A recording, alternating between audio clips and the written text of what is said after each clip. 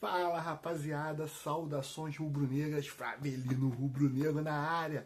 Comigo você já sabe, é na lata, galera. Segue o líder, segue o líder. Se inscreve aí no canal, afunda o dedo no like, vem com a gente. Temos aí muitas novidades para vocês, novidades sobre ponta no Mengão, ídolo voltando, galera, e novidades também aí tudo sobre o que aconteceu neste domingo de futebol, nesse domingo de baile na favela, domingo de baile no Maracanã. Se inscreve aí, galera, deixa o seu like. Seu like é muito importante, ajuda demais no engajamento do nosso canal, galera. É o Favelino Rubro Negro, galera. Tamo junto, vambora, vamos pra cima. Falar primeiro aí desse jogão de bola, Flamengo 2, Atlético Goianiense 0. Flamengo aí com um time misto, né? O Tite poupou alguns jogadores que vinham jogando por mais tempo, né? E que vinham tendo aí algum tipo de estafa física, algum tipo de cansaço físico. Acabaram sendo poupados. E o, o, o Flamengo, né, enfrentou o Atlético Goianiense em casa com um time misto, né? O De La Cruz fora, a zaga toda fora, jogou Davi Luiz, jogou Léo Ortiz. No gol jogou Matheus Cunha, não jogou Rossi. No ataque foi Pedro Cebolinha e Luiz Araújo. O De La Cruz também ficou fora. Né? O Pulgar estava jogando, o Arrascaeta jogou, o Pedro jogou. Mas um time ali meio misto e no segundo tempo tivemos ainda também algumas alterações. O Flamengo não conseguiu ser tão dominante o jogo todo né, mas dominou as principais partes da partida, teve posse, maior posse de bola, teve maior chutes a gol e fez 1 a 0 logo no primeiro tempo, ao meado do primeiro tempo, com Pedro no majestoso, majestoso passe do Arrascaeta. Para mim, o melhor em campo, com um passe para o gol e um gol no segundo tempo. Arrascaeta, para mim, foi o craque do jogo. E no segundo tempo, né, no final do primeiro tempo, tivemos aí um, uma tentativa do Atlético Goianiense de empatar o jogo, um sufocozinho em cima do Flamengo. Terminou o primeiro tempo assim, começou o segundo tempo assim também.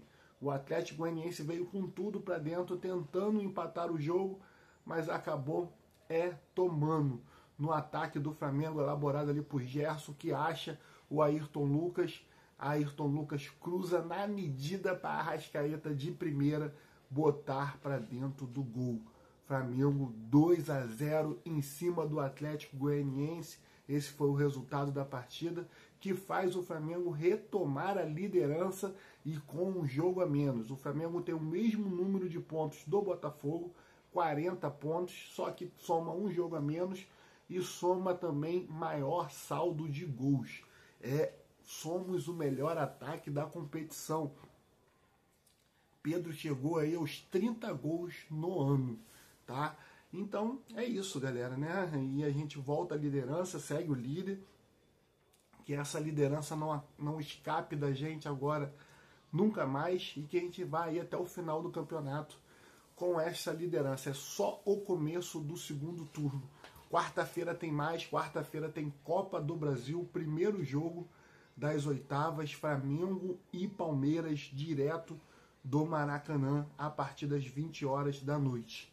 E uma novidade aí, apuramos tudo nesse fim de semana, nesse domingo, para trazer hoje para vocês. O robozinho pode estar voltando. Michael, tá?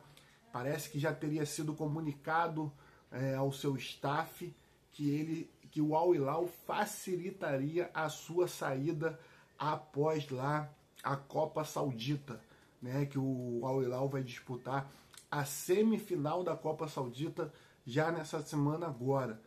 Então, o Michael teria ficado chateado, né, porque ele, ele sairia do time para dar lugar ao Neymar, que precisa sair um estrangeiro para entrar no Neymar, para o Neymar poder ser inscrito, e o, Al Hilal parece que escolheu tirar o Michael.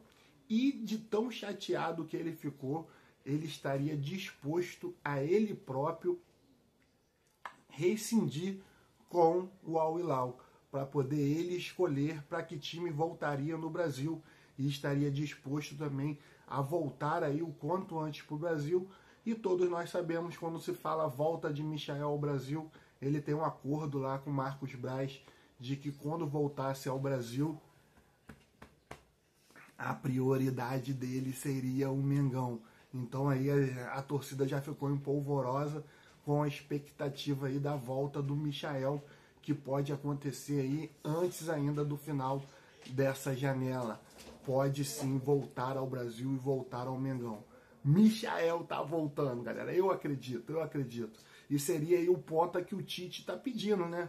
O Michael tanto pode jogar na ponta direita como pode jogar na ponta esquerda. Seria o ponta aí que o Tite tá pedindo. O robozinho Michael. Saudações rubro-negras, galera. Fravelino Rubro-Negro na área. Comigo, você já sabe, é na lata. Se inscreve aí no canal, afunda o dedo no like, vem comigo, galera. Valeu, saudações.